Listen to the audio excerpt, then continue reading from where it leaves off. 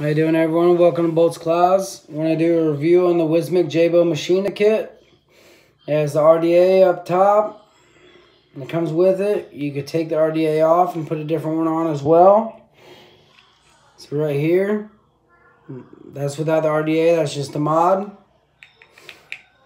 RDA, uh, the kit comes with an RDA already attached. It takes 18650 or 2700. Again, right here is you unscrew the bottom layer right here to put the battery in.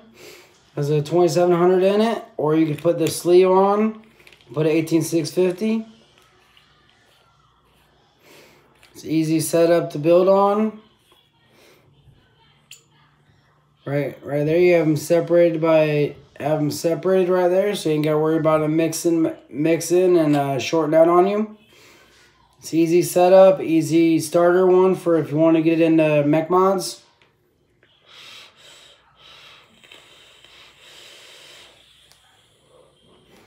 This was my first mech mod I ever had.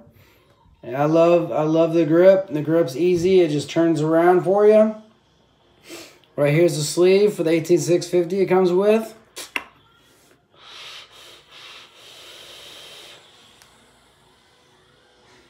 Again, thank you for turning in to Boltz Cloudz, and um, hope you like my review. Thank you.